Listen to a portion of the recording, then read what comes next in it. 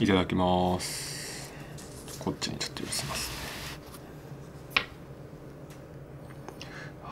めちゃくちゃめちゃくちゃ熱そう。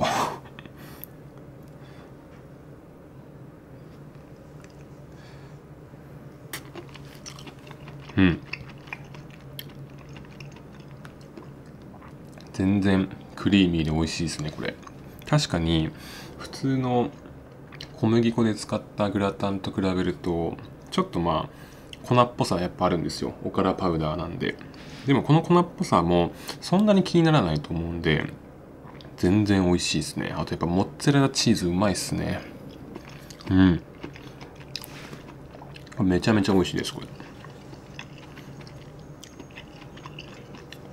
うん今回のレシピでまあ一番難しいところがとろみつけるとこだと思うんですよ。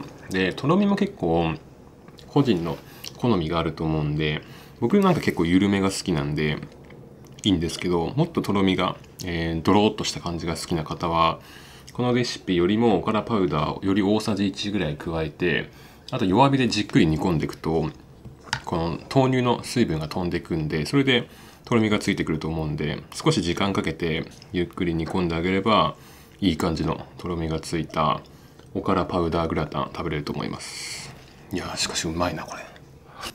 はいというわけでね、えー今回はこちらですね。おからパウダーを使ったおからパウダーグラタンを作ってみました。非常にねあのー普通の小麦粉で使うよりもカロリーもあと糖質もね大幅にカットできますしバターも一切使ってないんでこれはダイエット中の方でも全然食べれると思います。はい。